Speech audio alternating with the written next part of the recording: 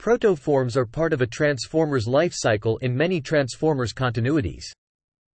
Protoforms consist of an unspecified, free-flowing, metallic matter layered over basic robotic systems. In many continuities, a protoform is the first stage in a transformer's life cycle. These protoforms only await a life-giving spark and the alt-form information necessary to transform them into the fully functional, living transformer beings. Often, protoform modes are used to transport transformers on intergalactic journeys. Protoforms are transported or stored in stasis lock, in which state they look like smooth, robotic humanoids, right? When not in stasis lock, protoforms are a roiling mass of liquid metal around their internal frame. Japanese name, prototype, Beast Wars, car robots.